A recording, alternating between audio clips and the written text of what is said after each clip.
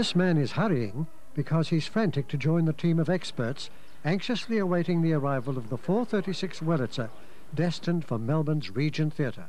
What does a team of talented experts talk about in a situation like this? Yeah, the trouble was, one of the diapasons was flat. Gee, that must have been terrible. No sign of that truck yet? They said it was coming on Wednesday. Yeah, yeah. well, they didn't say which Wednesday, did they? Uh, I think we better send out a search party. Okay. Finally, a lookout scout is dispatched to nearby Mount Fenelon. But as yet there is no sign.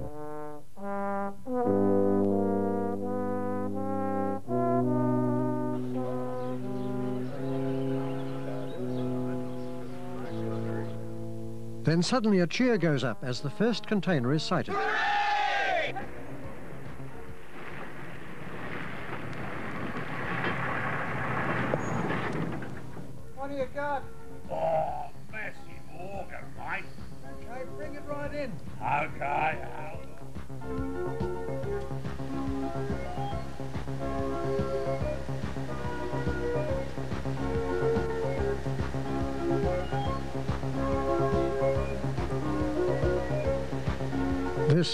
Container is carrying 40 crates of pipes, together with the impressive console, which weighs approximately three quarters of a ton, and other vital bits and pieces.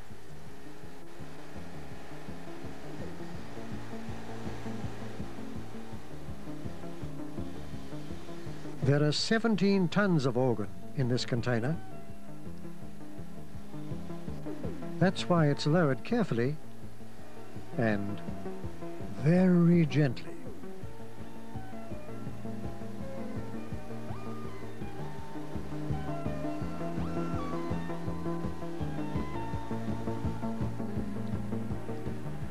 The people who make these shipping containers claim that they are easy to lock.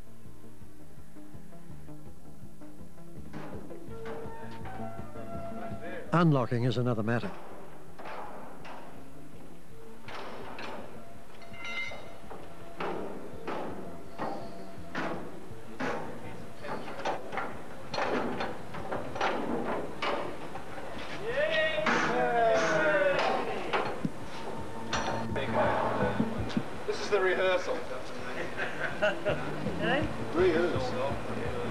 Tony Fenelon and Julian Arnold contemplate the console with its impressive array of tabs.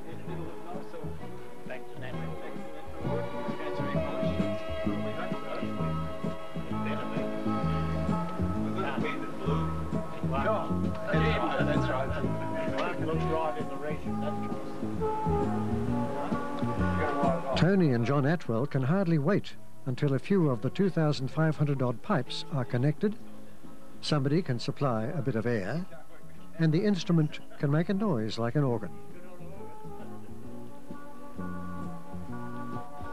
First step is to move the console out of the shipping container, and moving it is not going to be easy. Some of the team present a stern aspect to onlookers as they probe the task ahead of them.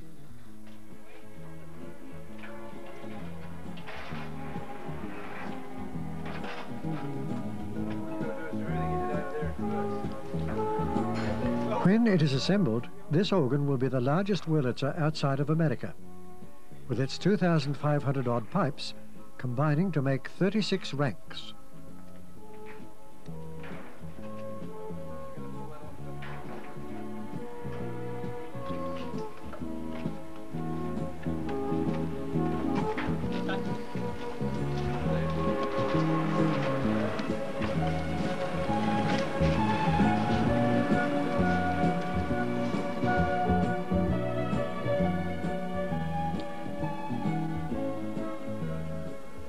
Console is a center of interest for everybody.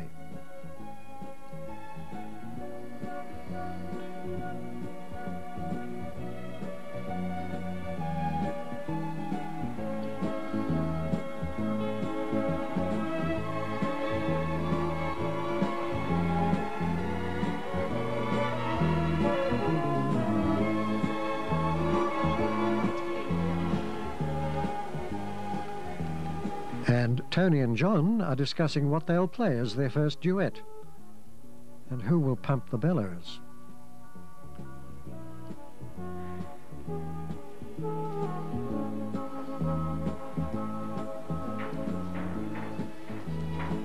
These boxes contain some of the 2,500 pipes.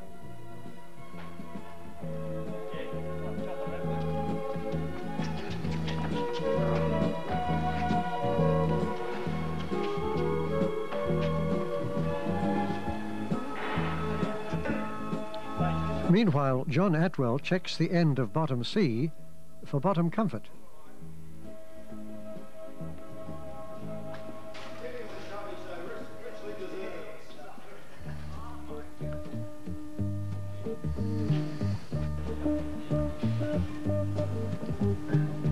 The stool is strong enough to support the musical posterior of the broadest-based virtuoso.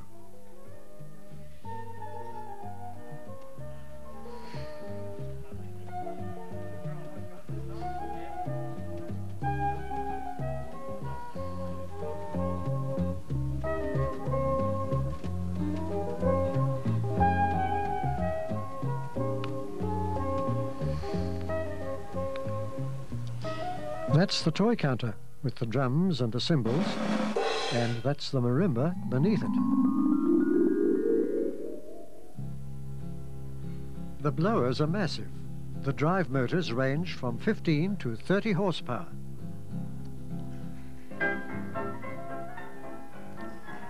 Next to the blowers is the piano, destined for a place in the left-hand audience box at the side of the proscenium in the theatre. The diaphone boots are an example of finely crafted and well-preserved woodwork, constructed 77 years ago. These are the chests for the horn diapasons.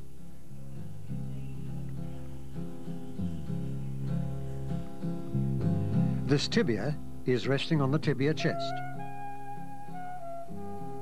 The tall fellow reaching for the roof is a 16-foot diaphone.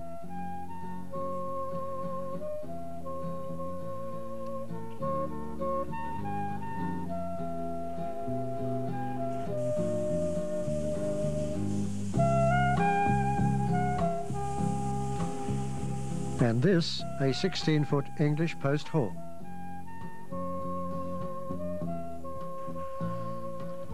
The pressure regulators are keeping company with these large tuba pipes.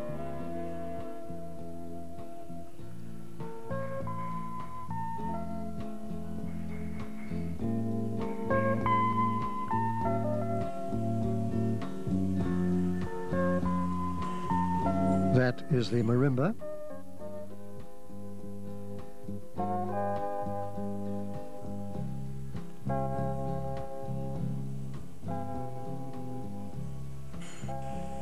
And the two refurbished blowers.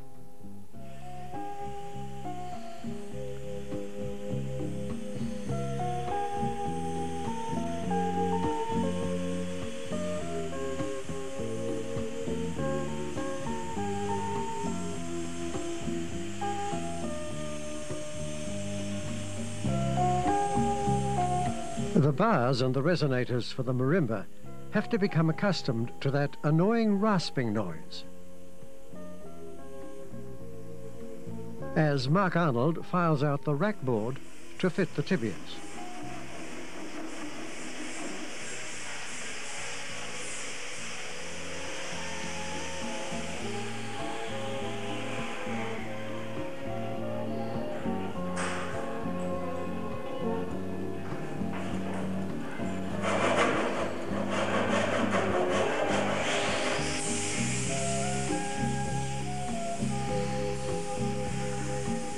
Everywhere there is a confusion of components.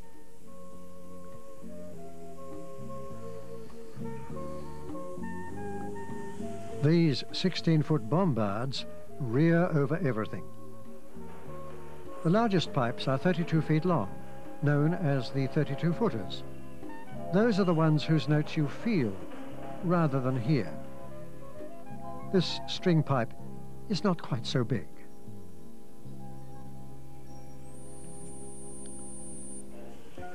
The parts list is never ending.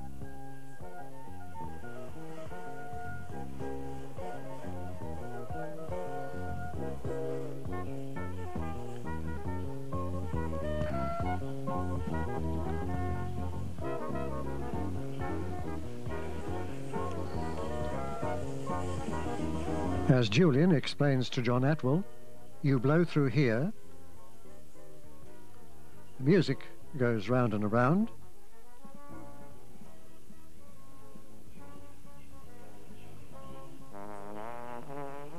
and uh, comes out here.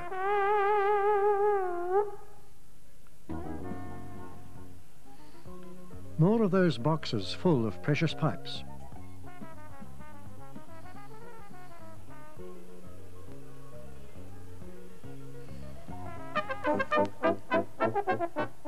These, for instance, are the brass trumpets.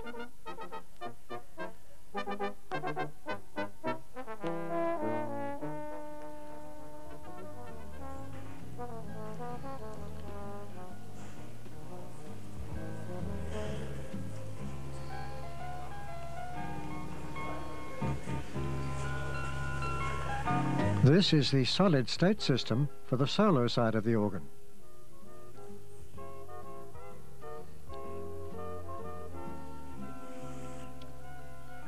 The complexity of the wiring is enough to induce a nightmare for any electronics engineer.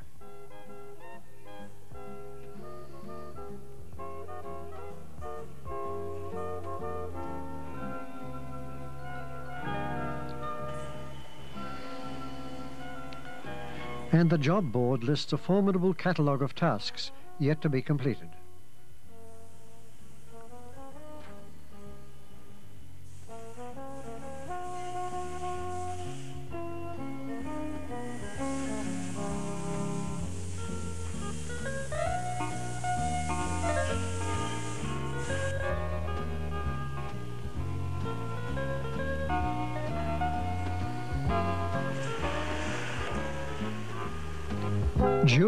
Is wrestling with this 16-foot bombard, which must be dismantled before transport into the Regent.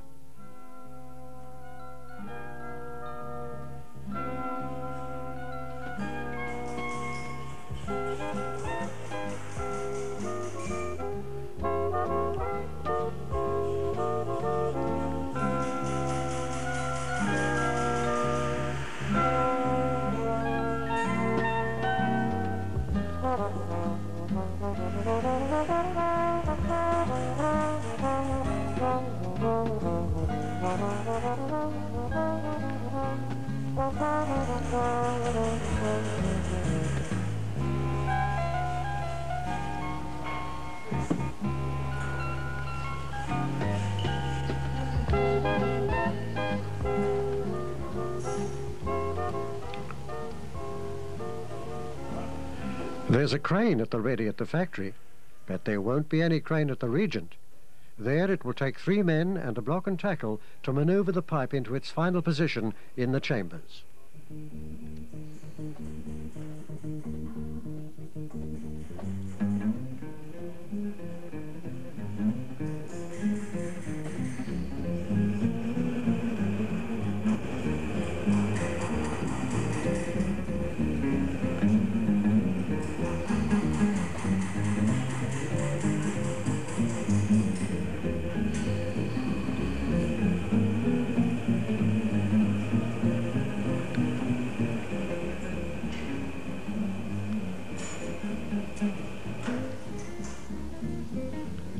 These are the reeds for the bombards.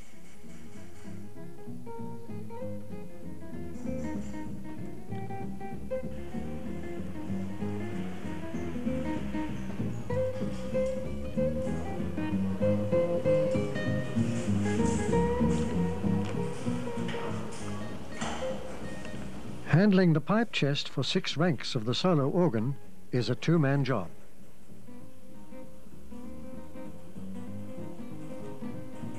Gently does it.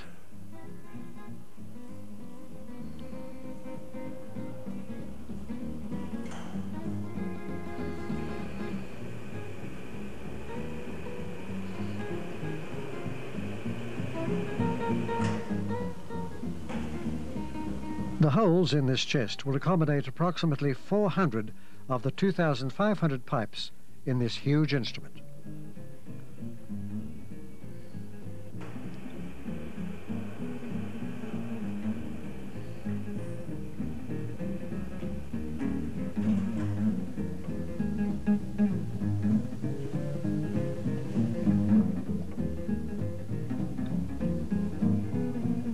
Automobile horn on the toy counter is all polished up, but for the moment has nowhere to go. And the snare drum is waiting to back that rhythm with a solid beat.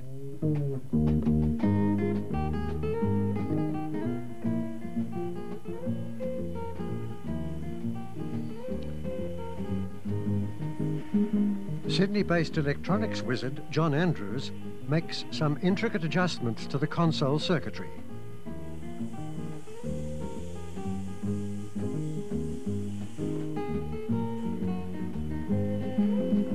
And Julian checks some of the ducting to carry the air from the blowers high up in the fly tower.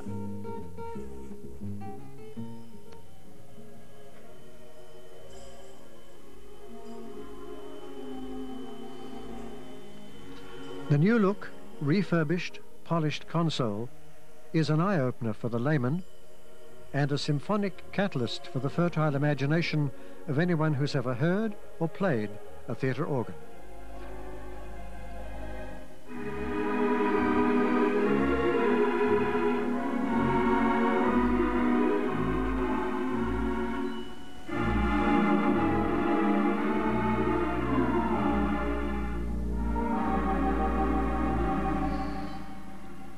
It's a change of location now to the Regent in Collins Street, where the restoration of this Palace of Dreams is still proceeding.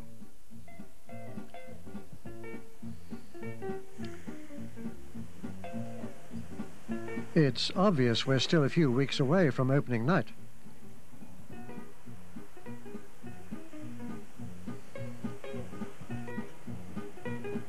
But after nearly two years since the arrival of the containers from America, Installation of the organ at the theatre is underway.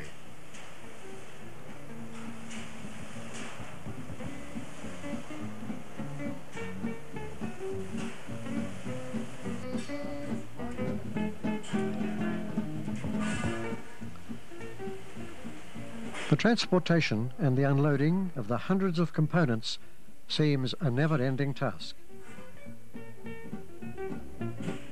The stall's floor makes a good storage area.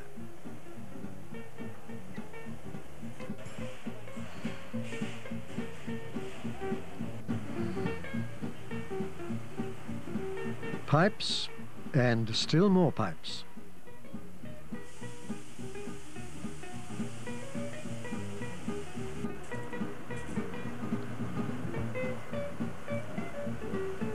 This is one of the pressure regulators.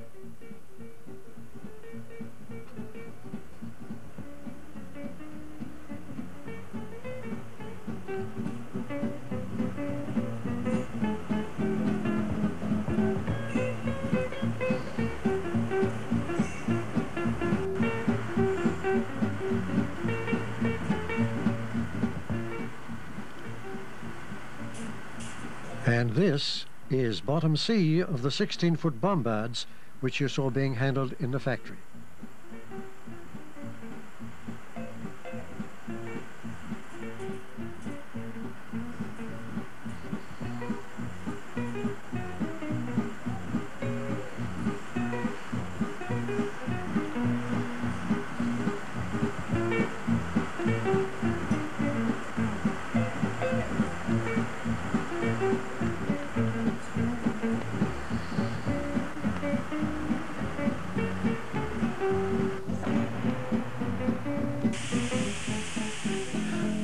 The tower rears high above the surrounding buildings.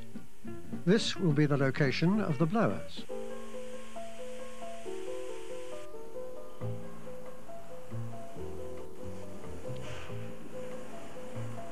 Stan oversees the lifting of part of a 32-foot diaphone up the outside wall of the theatre.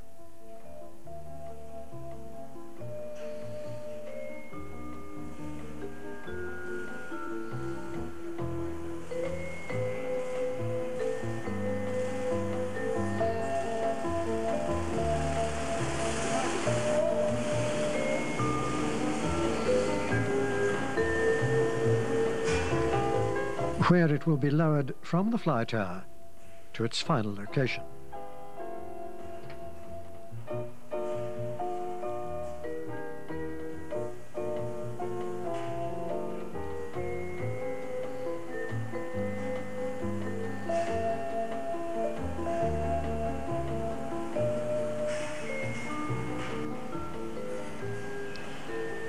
Next, it's time for the blowers to make their ascent.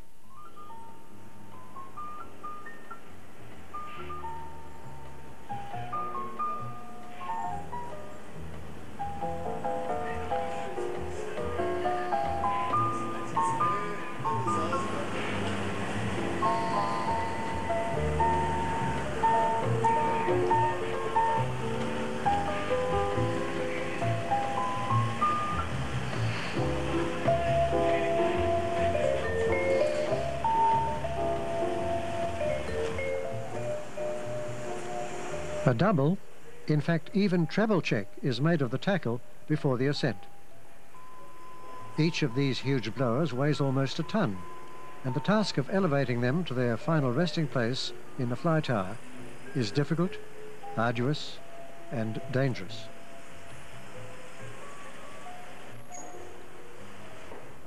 If that chain comes undone, some of the crew peering heavenwards from the street might find themselves having a closer look at the blowers uh, than they had intended.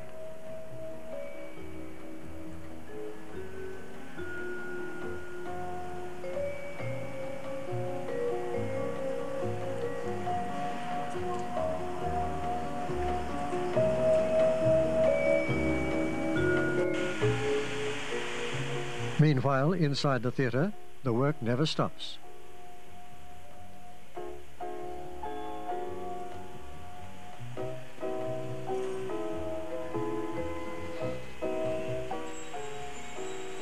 These are diaphones on their way up to the foundation chamber.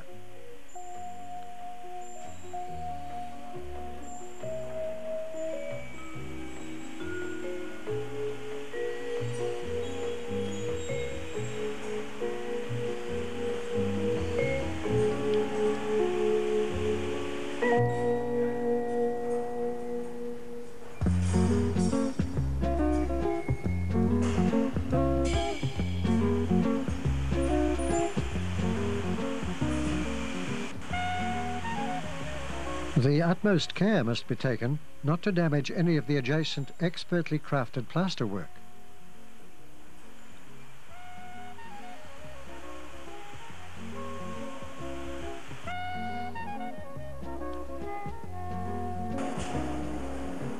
And don't think that you've seen the last of that ducting.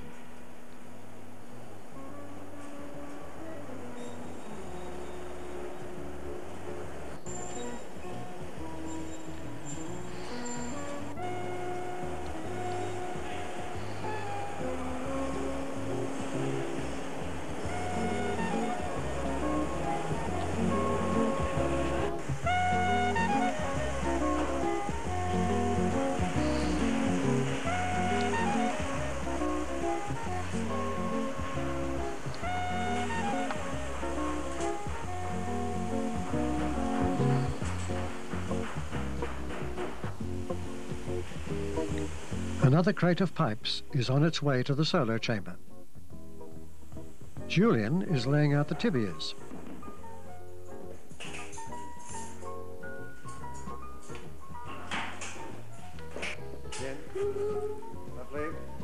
And in this organ chamber, the majority of the pipes are already in position.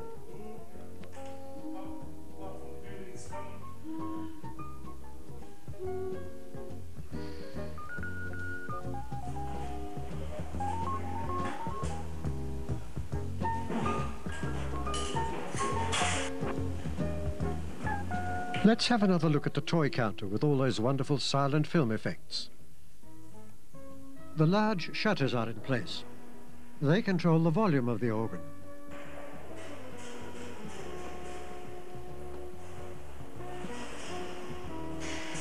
The 16-foot post horns are waiting to be lifted to the chambers.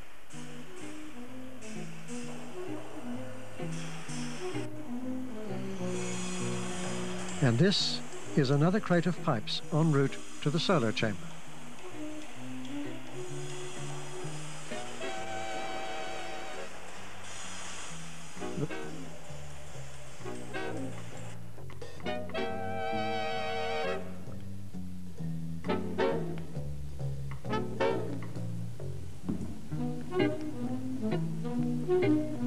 The solo chamber is now complete including the brass trumpets, which we saw earlier in the crate.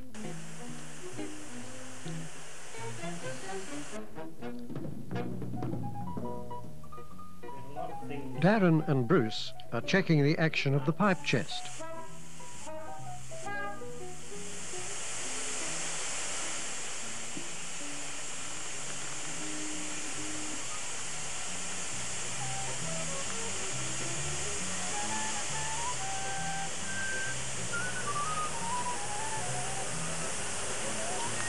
While Julian sets the pressure regulators.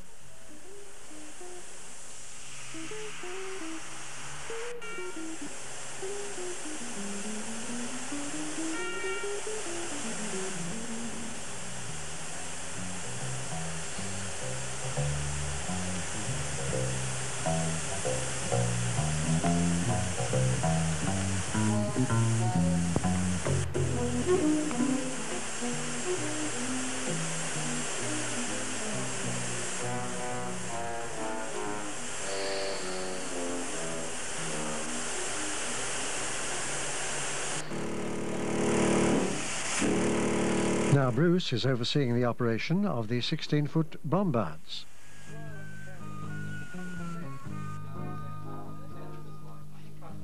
It sounded very similar, didn't it? Yeah, because the acoustics were right and uh, Is it up here? Through here. 32 minutes. A number of times I came over here. Well, we've got. Oh, well, we've got. When you play Tony Fenelon describes part of the action to Simon Moran and visiting organist Simon Gledhill. rather than blowing them up it's quicker. Because of the 20 When you the 50 play oh, it energises the magnets. No, he said it was a very unusual tibia. The magnet small scale. pulls Yeah, a I little arm and pull down, So, uh, up 10 inch tibia and exhausts the primary which valve, which then the, uh, Hollywood Theatre lets that go Melbourne. up. Once that goes up, it Which exhausts the secondary is valve, which opens the nice tibia. So that's end going of the in here. pilot. So So what sort of delay is there? Very little. 14 rings Well, it's a, one of the quickest there'll actions. two tibias It's just quite startling how good it is. So there's You can play right. repeated notes as One fast as you can brass. play it. Where, Oh, really? did that one Yeah. come from originally? Uh, that one came from the Omaha Theatre, Nebraska, I think it was. The next major task is rigging the tackle to hoist the piano to the audience box, which is to be its home. The crew are serenaded with an obligato provided by Darren on the now playable organ.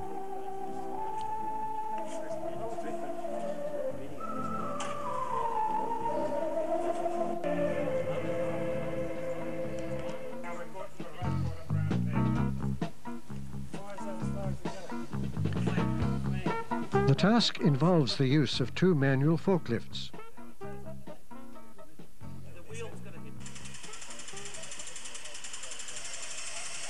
But unless they are both operated at the same speed, there could be a sudden drop in the value of pianos.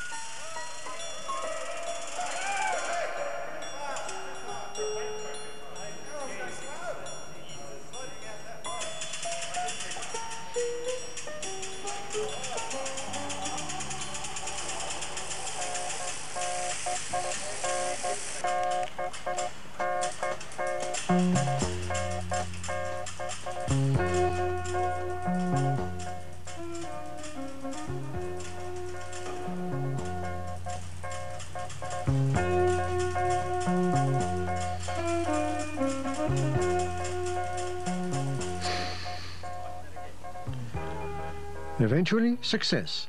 The task is completed and the piano is intact.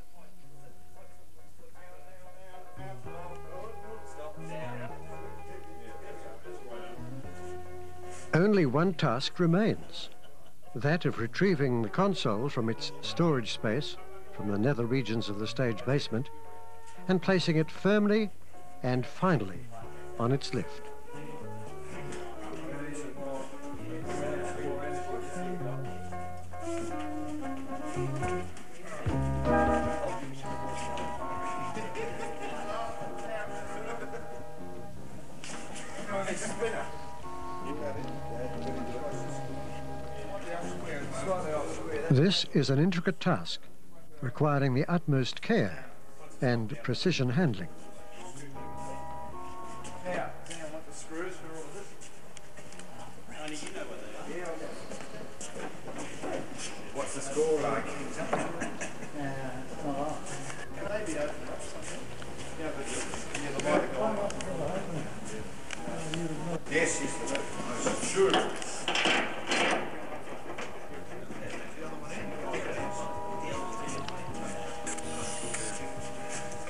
Tony checks the comfort of the console and its stool. Here anything, Tony, you'll have to play louder.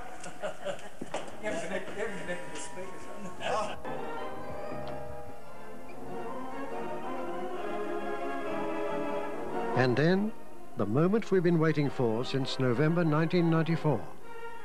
Or longer than that, since January 1969.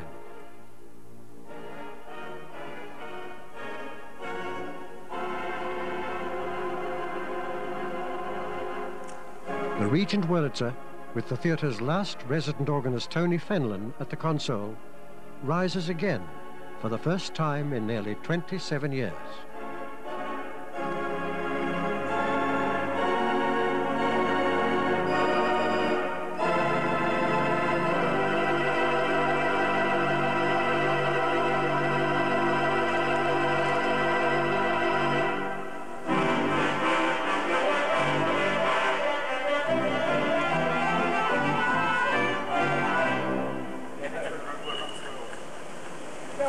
I can't think of what to play. Zippity, carry on with it. Well, uh, catch up with you during the week. I knew there was something wrong. Oh, he still does it.